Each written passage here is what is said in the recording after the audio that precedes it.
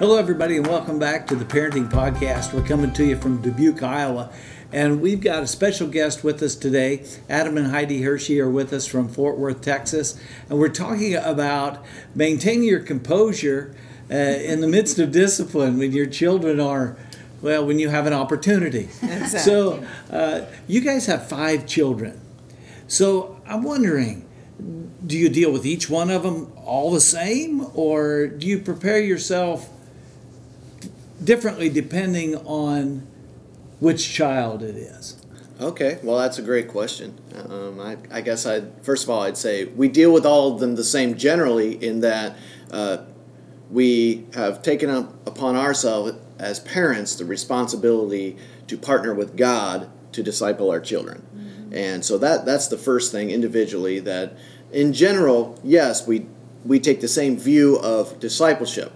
In specific child, they're very different. Every child has their personality, and so um, when disciplining the, the children, we do each one individually in exactly, you know, how we talk to them, how we work through situations.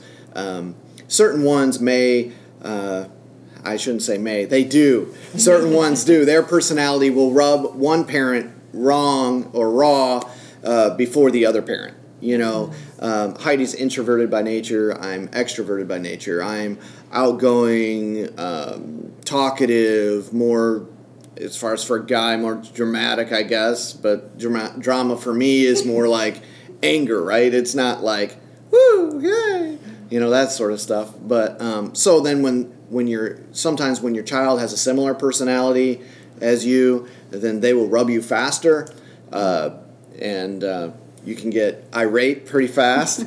so so you have to step back and say, okay, um, this one's done something wrong. But uh, rather than just react out of my flesh because I'm like you, I know how you think.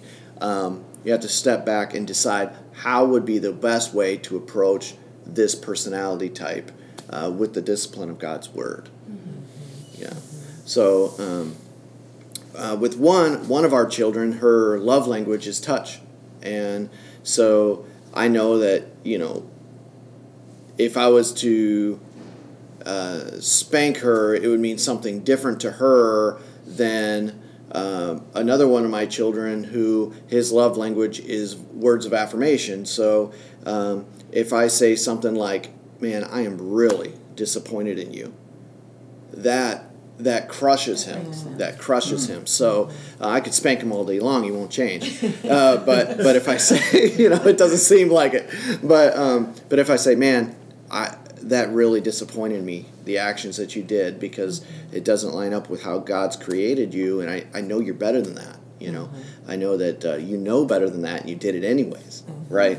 Uh, then he gets the point. Yeah. You know. That's so good. yeah yeah you're able to say something like that without without him going to the bottom without him getting a lousy self-image you're just able to be honest with him like that Yeah. Whereas with you know with my our girls, we have three girls, two boys. You know, so I'm always I'm always very careful with what words I use, especially with the girls, um, because as the man of the home, I, I've come to realize through her help uh, the power of my words as the leader of the home. Yeah. And so usually when I use my words, um, I've softened how loud I say my words because naturally when I get excited, it's like a football game you know, or a soccer game. And I'm just like, yeah, I mean, this means something to me. Your life means something to me. I want you to succeed. I want you to be awesome. I want you to fulfill your God given destiny. So I get all passionate about it. And they're all like,